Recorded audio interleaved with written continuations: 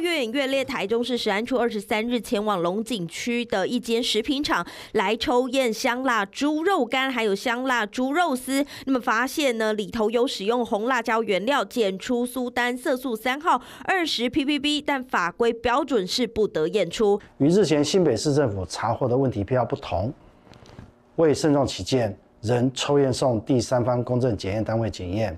检验结果出炉，确认检出苏丹色素三号。台中市食安处查出厂商一共进了三百二十五公斤的红辣椒粉，已经使用七十三公斤来制成香辣猪肉干以及香辣猪肉丝两项产品，一共是有六千七百三十九公斤。那么主要销售到台北市、新北市、桃园市等十五个县市。现在台中市的卫生局呢，除了要求产品下架回收之外，也同步要求四十二家下游的业者来比照办理。那么台中市府呢，将会持续扩大追查问题的辣椒粉。来保障民众的权益。